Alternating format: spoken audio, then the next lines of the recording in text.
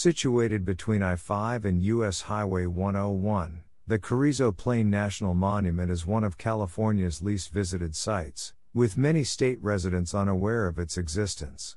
Yet nearly everyone has seen the classic image of the San Andreas Fault taken from the air at Carrizo Plain. At Soda Lake, the fault runs just at the bottom of the hillside beyond the water.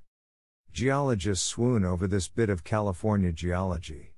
Besides the dramatic fault itself, a bird's eye view reveals stream beds that have been offset by the fault's movement, hills torn apart in the middle, and sagging bits of the Earth's surface.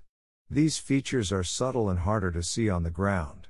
Nevertheless, the area is extraordinarily beautiful, especially during a good wildflower year in the spring and summer. The free, self guided geologic tour brochure is available online or at the Visitors Center, and it will help you get the most out of your visit. It includes a hike to a point atop the fault. The Carrizo Plain is closer to Los Angeles than to San Francisco, but you can visit it as part of a long day trip from either city. Carrizo Plain is very isolated with no place to get food, water, or gasoline for many miles in any direction.